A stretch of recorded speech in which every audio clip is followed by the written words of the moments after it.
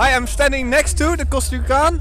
How was your race? Oh, it was amazing. Yeah. yeah, it was great. I'm too slow, but Yeah, but it was a lot of fun. It was very nice. Everyone was screaming to you. yeah, the the fans have been incredible. I mean, Yeah. it's it's been amazing the amount of support. You know, I'm not. I need a, I need to get a lot better at this. This is the Yeah. Costa Rica doesn't do cyclocross, so No. I was the first one. Um, so I'm trying to learn. Uh, I, I do my best every time, Yeah. uh, and thankfully the, the fans appreciate the effort. Yeah, of course, of course. You have it cold, uh, I see. yeah, I'm freezing. Yeah. You go home. Yeah, you can better go to the camper. Yeah, uh, well, maybe someday I'll have a camper. I'm just gonna go to the car. Oh, the car. Okay. have a nice weekend.